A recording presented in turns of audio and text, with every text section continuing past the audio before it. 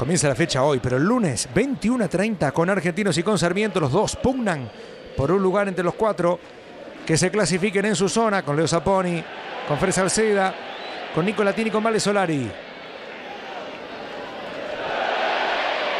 Cobra Pitana. La infracción